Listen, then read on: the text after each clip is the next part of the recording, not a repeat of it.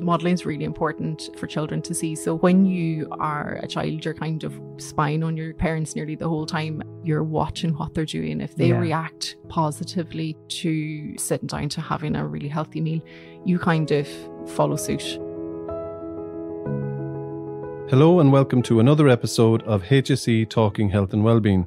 My name is Fergal Fox and this episode was initially published in September 2023, but we're sharing it again because it's so timely at this time of year with back to school and the need to support parents in relation to shopping and preparing healthy options for their children. My colleague Eamon Kyo and Marian McBride, dietetic lead in HSE Health and Wellbeing, discussed the importance of a balanced diet and healthy lunchboxes for kids. And we think it's very important to share this episode. Again, it's one of our most popular episodes, and we really hope you enjoy it. So let's rejoin Eamon and Marian now. So, Marian, it's great to have you here today to talk about this timely topic with schools been back this week. But I'd just like to talk a little bit about what we mean when we talk about a balanced diet. So, aiming a balanced diet is one that has a lot of variety and a lot of color. One of the easy ways to remember it is taste the rainbow. So, when we look Very at fruit good. and veg, lots of color on that plate. And then also a lot of variety of your breads, rice, pasta, noodles, you know, plenty of that in there as well for plenty of energy. A smattering, let's say, of uh, dairy foods. So, Yeah. your cheese and your yogurts and milk and also for your protein foods as well. So your meats, chicken, fish, beans, lentils, plenty of those in there as well. And then there's a little bit of space there for your oils and fats as well, but they're to be kept to a limit. So lots of color, lots of variety, lots of change. Okay. And then just to talk about those different elements in a little bit more detail, you mentioned before about the food pyramid. Yeah, so the food pyramid, if we start at the bottom of the food pyramid, the two bottom rungs of the food pyramid are made up of the fruit and veg and also for the bread, rice, cereals, Yeah. pastas. You want those to be the ones that you see most of on the plate. So you're looking at half of your plate to be plenty of fruit and vegetables and plenty of energy foods as well. So, you know, a couple of slices of bread, you know, a, a fist of pasta or rice on there. And that's really important for the energy point. And then the middle of the pyramid, the two rungs in the middle of the pyramid, we have our dairy foods. So as I say, the cheese, yogurts and milk. And we also have our protein foods. And we want to include those during the day. And we have certain portions for different food groups or for different age groups, but we want to include those regularly throughout the day. And then for a bit more information on the top two, we're looking at oils such as the oil that you would use for cooking or fats that you might have spread. You have a little bit of space for those as well in the diet. So when we're looking at a balanced diet, we're we're talking mainly about those five different rungs on the food pyramid. And there is another part, the very, very top of the food pyramid. Yeah. It's kind of removed from the food pyramid. And the reason it's removed is because it's not essential in the diet, but there is a little bit of space in there for your treat foods. So it's important, I suppose, to when we look at a balanced diet and a healthy relationship with food, Mm. that we have a little bit of space for those treat foods as well. For kids, when they are nine years and older, we need to think about including more dairy foods in the diet, so more calcium into the diet. And what that looks like is five portions of dairy foods in the diet every day. And it's important to kind of think about that because when we think about things like cheese and milk and yogurts, we need to be making sure that we have a nice variety. It's not all cheese. So yogurt and milk in there regularly as well. And that's really important for bone development for kids and they'll be growing quite a lot at that stage. So it's really important. And then the other piece then that is maybe new news for some people is the supplementation requirements. So vitamin D is a supplement that we recommend for children. We're recommending for many of the age groups all through the years, but the amounts change. So for the kind of the take home message for parents is that we're recommending supplementation for children for those with fairer skin or lighter skin. It's during the winter months, so from Halloween to I'd St. say that would Patrick's Day. particularly important with Absolutely. no sun in the sky sometimes. Yeah, so the, the sun is not high enough in Yeah. the sky during the winter months, really for it to penetrate through and for us to be able to make the vitamin D that we need from the sunlight. So we need to get it from our diet, but we know that we're not going to just quite get enough from dietary sources. So supplementation is really important. And for children who have darker skin or who maybe cover up their skin for cultural or other mm. reasons, they then need to look at the supplementation during the summer months as well. So for more information on that, parents can go on to the HSE website. They probably would be able to get good information from their pharmacist as well, because as I said, the amounts change depending on the age of the child and Right. depending on their skin tone as well. Yeah. And probably a very obvious question, but why is healthy eating so important for children? Yeah, so I suppose from a from a day to day basis, you're looking to fuel the muscles so that kids can run around, enjoy activities, uh, play with their friends, and then from another point of view, you know, they're in school, so it helps to fuel the brain. So mm. we're looking at keeping them focused, alert, able to concentrate and be able to retain the information that they're learning. But from a longer term point of view, you know, we're we're looking at the physical development of children through those ages. So you're looking at bone growth and immunity as well. It's really important. I think sometimes we forget that it is important to eat a nice balanced diet to be able to protect ourselves from immunity both now and, and in the future. And when we look at sort of cognitive development, there's a huge amount of brain changes through the school years for children. Mm. So being able to fuel that and being able to give children the optimal chance to be able to make the most of that period in their life. Okay. So it's really important, as you say, to eat a well balanced diet. A well balanced diet. And I suppose throughout the school years, you're looking at children thinking about the behaviors that they learn at home and at school. Those behaviors are things that you're going to follow through with and continue on into your adult years. So you're really setting down that sort of what is normal for me to do. Mm. Have you any practical tips for parents on how to encourage their children to eat healthier? The one I find works for me is if they see me trying something, they often ask, Can I try it? as opposed to me putting it on their plate and saying, Will you try this? Will you try that? It's that kind of stealth approach.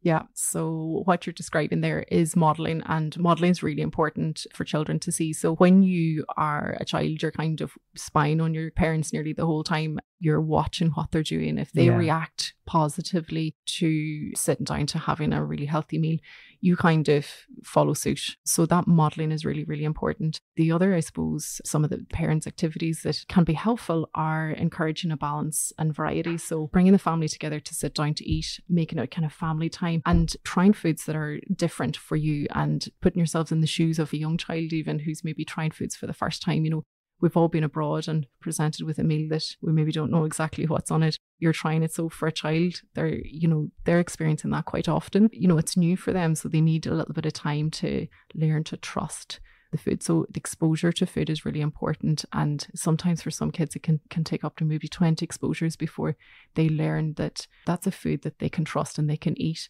And having the availability of healthy foods at home. So that fruit bowl, mm plenty of veg they can have on demand. Maybe if it's possible, if there are treat foods in the house, to kind of not have them in full view yeah. in easy sight so that kids aren't necessarily seeing it and wanting it, but they're seeing the healthy foods. I think that's really important, actually, what you were saying there about just leaving it out. Because I find even with those cherry tomatoes, if you leave them on the table, and like our house is busy, there's people doing sports or the kids are doing sports during the week. So it's not always possible to sit down and have a family meal, particularly during the week. So I think what you were saying there about just leaving food out that they can pick at and at least they're getting the range of food that they should. Yeah, and we all know that when we have healthy foods available to us, we're more likely to pick them up. Whereas if you don't, then it's more of a trek to go and find them. So that kind of that environment, but also when you have the opportunity to sit with children and to talk to them about what is healthy and teaching them about nutrition, but teaching it to them in a way that actually they're going to take it on board. So kind of linking in with what's important to them. Then the final thing then to I suppose say about that is about meal planning and yeah. involving children and depending on their age, maybe involving them in preparing foods as well. Okay. And can I ask about vegetables? That's always a tricky one. Yeah. Um, well, I suppose vegetables, they're not sweet, so they're not really a preference generally for children. It's not a innate preference for them with vegetables, try small pieces and keep trying. So being patient but persistent. You could try things like carrot sticks, cherry tomatoes, those types of things, and maybe even put dips alongside them. So maybe hummus or soft cheese, depending on what you've got available and what you think they might try. And then think about maybe trying them raw, maybe trying them roasted, boiled. Sometimes they're more open to having them in a different cooked format. And one of the things that can be useful is to think about, you know, like just before dinner and the kids might be getting a wee bit hungry and they're looking for their dinner and you're thinking, well, it's going to be ready soon. That can sometimes be a chance to just give them some veg that actually maybe you've chopped up during dinner and you've got a little bit of, you know, raw carrot there and just give them that because they're more likely to give it a shot when they're feeling that Yeah. wee bit peckish. And coming back to that kind of involvement piece, it is really important for children to be involved in the preparing. And it's not always the easiest thing to be doing, but when they're involved in it, they feel a part of kind of the making of it. They can be, you know, that little bit more open to then trying it Mm. when you sit down to eat. And it could be small things, couldn't it? It's not when you say involvement, it's not necessarily standing up at the stove and cooking it with you, but it could be go get me those carrots and or will Absolutely. you get the broccoli out of the fridge or whatever it is. It's just Absolutely. making them aware of the different food types. Yeah, It? and you know, like most kids, even from a very young age, are very happy to stand at the sink with the water on and, and wash Yeah. things. You know, it might be messy, but they're quite happy to do that. And it's, you know, it's safe enough for them to be doing that. And then as they get a little bit older, it's a really important life skill to learn is to learn how to cook. So just even that chopping up veg, being aware of, you know, if you're if you're making chicken or you're making meat, just being aware of not having things cross contaminating and Mm. those kind of things are really just very basic life skills, but very important and something that children can just learn from their environment. And even I suppose when you're preparing, it gives you the chance to kind of start to teach kids about, you know, we all know those bones, those bones need calcium. We all remember that. So Mm. those are very easy things for us to kind of grasp onto. But children might be thinking something like carrots. You could say carrots have special nutrients that help you to see in the dark and Make you run faster. make you run faster, whatever whatever it is, you know, um, that they're interested in, or maybe you're trying to get them off the sugar sweet beverages, and you're saying, you know, if you drink water, it'll help to keep your teeth healthy, and Mm. so you'll have a beautiful smile, or whatever. And kids kind of grasp onto those types of things. So when I say teaching kids about nutrition, I'm not talking about going into the in-depth detail of what a nutrient does for the body, but you know, something that they can kind of grasp onto and they understand that it's important. And there's plenty of evidence out there to show that over time, when children receive those messages, just repeatedly, kind of slowly, kind of repeatedly over time, for six weeks, they start to actually consume the food a little bit more because they're aware of it. Now, obviously, that's age dependent. yeah. But yeah, it's a really key one. And I think as adults, we're all aware of that. Like, you might not be super keen on having something in your diet, Mm. but you consume it because you know it's good for you. You go with what makes it kind of tasty for you Mm. as well. What I found actually with my kids, and now some of them are a bit older, but with the younger ones, it's even just the taste of carrot or peas. I'd say, well, have a few, or because I think even, and I don't know if this is this is my logic, but once they have a taste for it as they get older, at least they'll never say to themselves, "Oh, I just hate carrots" or "I don't like peas." Because they'll have tried it and at least they'll have tasted it, and then hopefully will eat more as they grow older. Yeah, so what you're getting at there is that sort of preference. So we're born with an innate preference for sweet foods, salty mm. foods, and fatty foods, but you can learn to have a preference for other foods. And it's about exposure. But again, coming back to that trust element, if you trust the food, then mm. you are more likely to try and to consume it. And if it's there regularly, then that's that's what you have. That's what you have all the time. So Yeah, very good. And so obviously all parents are trying their best, but with the best will in the world, sometimes unhelpful habits can creep in. With that in mind, what practices have you seen that potentially have a negative effect on children? So, just looking at the evidence, one of the ones is kind of pressure to eat. And, and I suppose we've probably all grown up in a home where you're being told to finish your dinner no matter kind of what's in front of you. So, that's one that I think we can all relate to, but that can sometimes go quite wrong in that the child's not listening to their own signals that tell them that they've had enough to eat. Mm, And so they're using external signals. So it is important for children to use those internal signals. And they're very good at doing that when they're younger. mm, But again, we can, with the best will in the world, sometimes train them not to listen to those signals. So sometimes it can be difficult to see children leave food on the table, leave it on their plate, not consume it, but try not to pressure kids to eat past the point that they're comfortable with. Then I suppose the other one is giving children full control. So it can be quite difficult to balance that between you know what they like, they know what they like, and you're trying to put food in the lunchbox that you know that they're going to eat.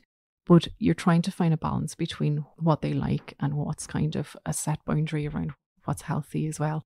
And I don't mean going to a really extreme where you might restrict them on foods because they're maybe not the healthiest because that's also not very helpful for the children because that can set them up for that sort of unhealthy relationship with food.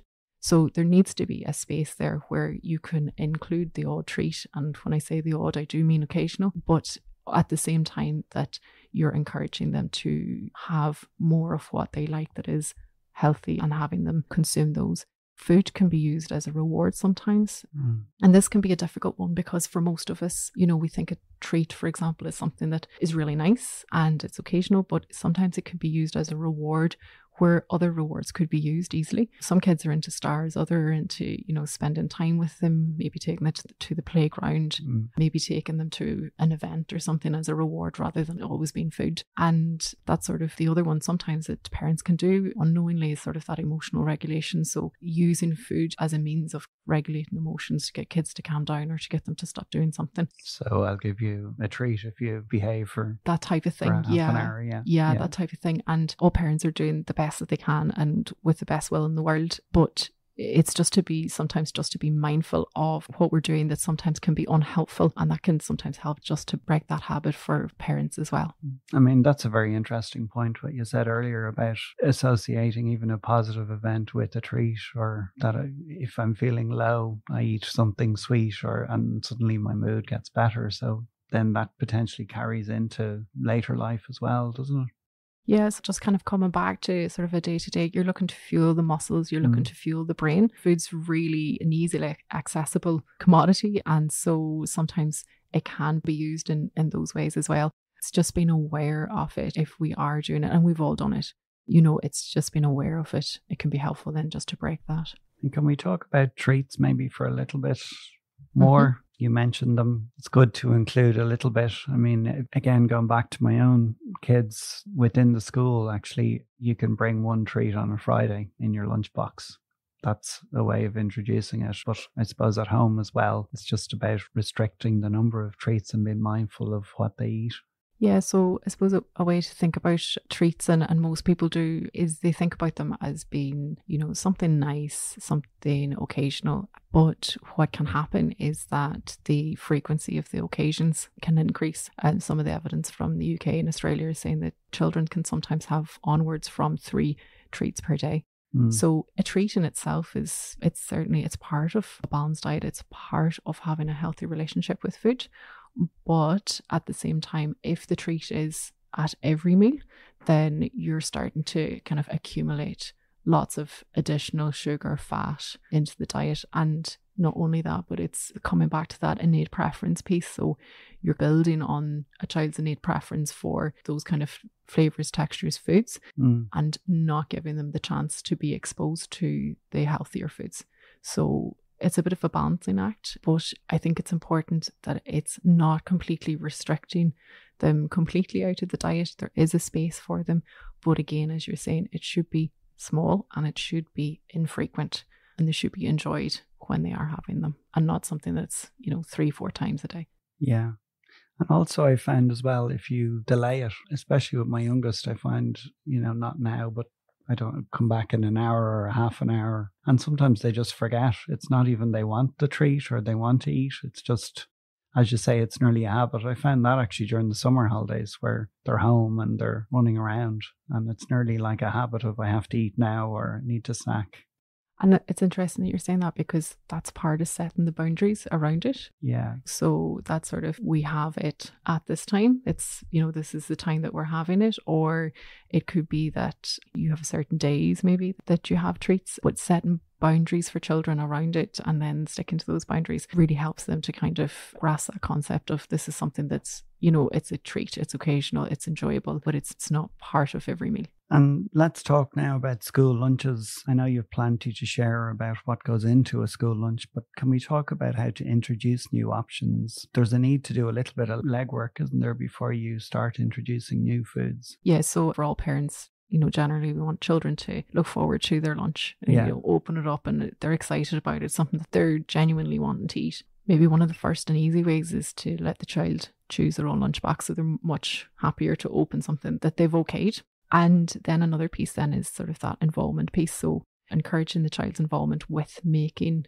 the school lunch so that they know what's in it. And that also helps to give you the opportunity to have a bit of a discussion or a negotiation maybe around what to swap out. So you might be swapping out maybe crisps for popcorn or mini pretzels or something else that um, just to kind of increase that variety. And as I was kind of saying before about the exposure piece, it's very difficult for children to sit down and have a lunch full of foods that they've never tried before or they're not familiar with.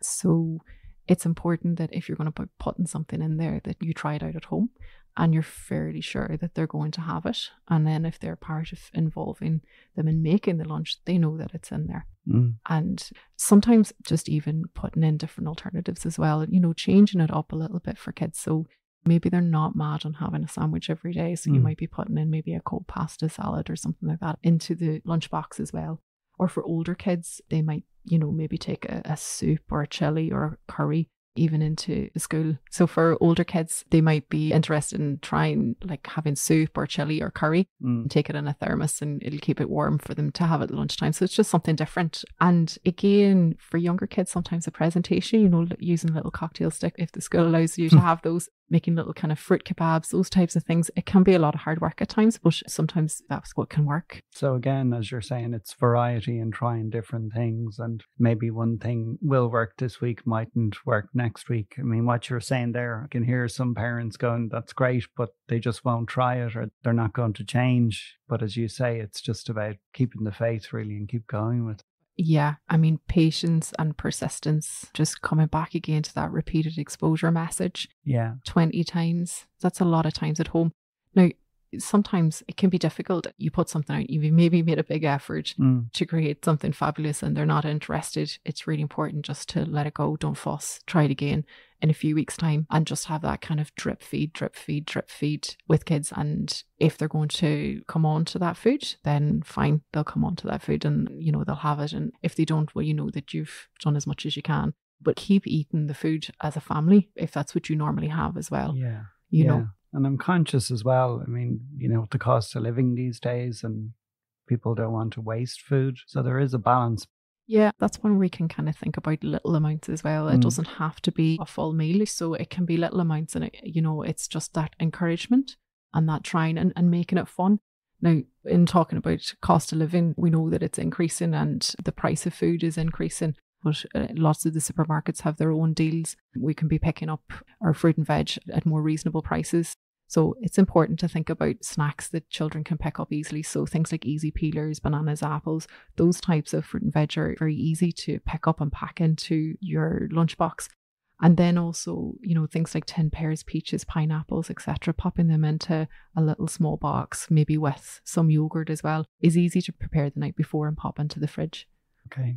Um, just before we get into what we'll put into that lunchbox, I just wanted to ask you about the more general environment. And since we're talking about school lunches today, can you talk to me a little bit about what the HSE is doing to encourage schools to reinforce healthy eating? Yeah, so the HSE Health and Wellbeing have developed a free toolkit and training for teachers that guides primary and post primary schools through the process of developing and implementing, and as well of reviewing and improving any existing policies. So this looks at carrying out audits, drafting policy, and consulting with parents and, and also implementing the policy.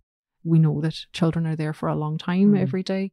Their peers have a huge influence on what they do, and what's allowed into the school will impact on that environment. So it's about encouraging parents to support teachers and about teachers looking at the environment from a wider point of view.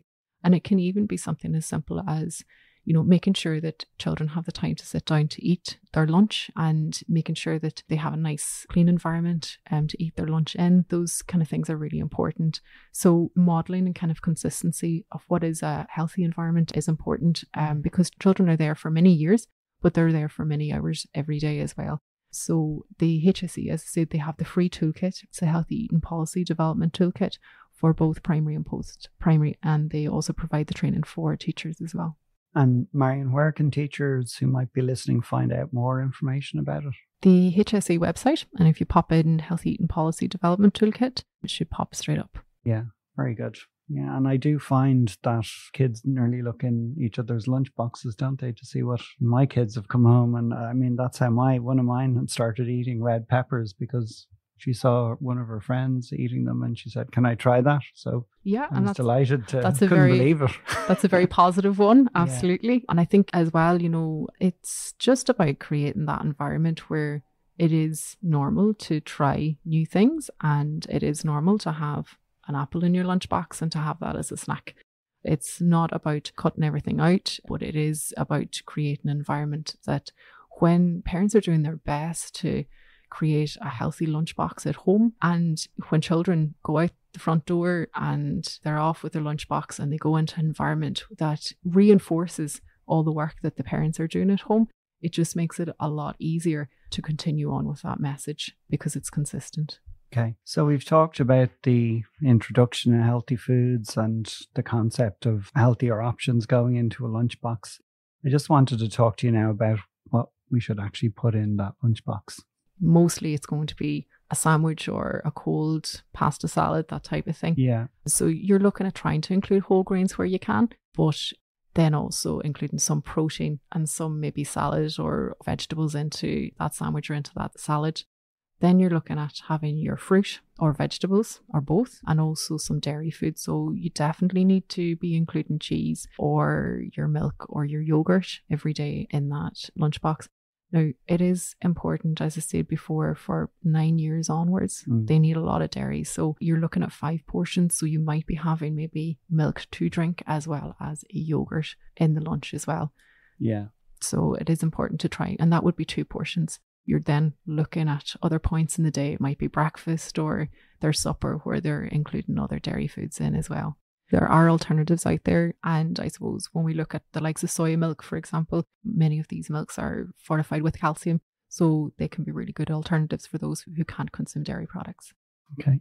And then in terms of trying to make swaps, crisps is often one that children want to have included in, in their Mm. lunch. So other things like popcorn, mini pretzels, mini rice cakes, crackers, and maybe even, you know, the cheese sticks or the wheels. Yeah. And a nice one if you have time to do it is spicy roasted chickpeas. You know, pop them in the oven for a little while and they are lovely, but it is Mm.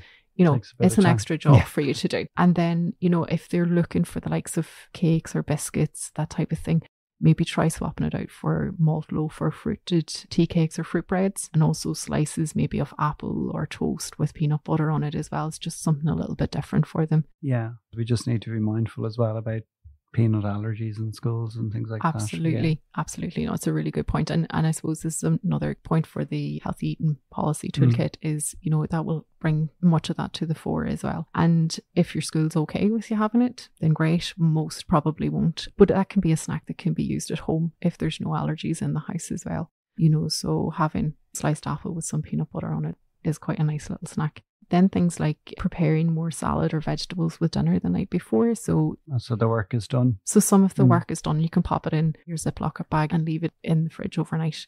And again, as I said before, kind of that involvement for kids as well to involve them in it. And they might be seeing other kids at school have foods that they actually want to try as well. So as you were Yeah. saying with your own daughter. So yeah. Yeah, actually, when you were saying about involving the kids in the preparation or the choosing of the foods, I was thinking that sounds like more a negotiation with them. It's, it probably sometimes is a little bit more of a negotiation. And I think as well, it gives you a chance to, you know, have a talk around what is healthy, what does that look like, why would you be wanting to have these foods in your diet, why would you want to maybe have other foods maybe a little bit less often. So any of those opportunities to kind of have those conversations with kids and keep repeating those messages around teaching them around nutrition is a great opportunity. Okay. And where could parents find out more information about maybe ideas for snack and the things you mentioned there? There's a great campaign called makeastart.ie, has lots of information for parents. There's also safefood.net and there's our own website, HSE website, hints and tips around what parents can do and what they can put into lunchboxes. Okay. This has been so interesting, Marian, but I'm afraid we're coming to the end of the episode. But before we wrap up, can I ask you briefly to summarize, maybe in two or three points, any final thoughts for our listeners? Probably the reminder to keep being patient, but keep being persistent. And children do need to learn to trust and accept food. Everything in moderation. We probably all heard that statement before. Yeah. And just remember that you're trying to get plenty of the really healthy foods from the bottom of that food pyramid in, but you also need to balance that with developing a healthy relationship with food. And then finally, and this is, I suppose, the take home message really is a lot of the work is done at home. And it does require a lot of coming back to it, a lot of not getting fussed when children don't want to try something or they spit it out and they tell you it's yuck. Just keep trying. If it is possible to support the school so that when you do all that hard work at home, that when your child goes into the school environment, that that message is reinforced as well. Yeah, yeah. I think, as you said, parents are busy and they're trying their best and to give themselves a break as well. That sometimes one week something will work or something that has worked mightn't work again, or but it's just that, as you said, that 20 times that exposure and just keeping it in there, isn't it? Yeah, just keep going. Yeah. Just keep yeah. going. Yeah. Yeah. That's great, Marian. I'd like to thank Marian McBride for joining me today. We appreciate your support for our podcast. And if you like what you heard, we would ask you to share it with at least one other colleague, friend, or family member. Please leave us a rating on whatever podcast platform you are listening to, or email us at healthandwellbeing.communications at hse.ie if you have any feedback. This has been HSE Talking Health and Wellbeing. Thank you for listening.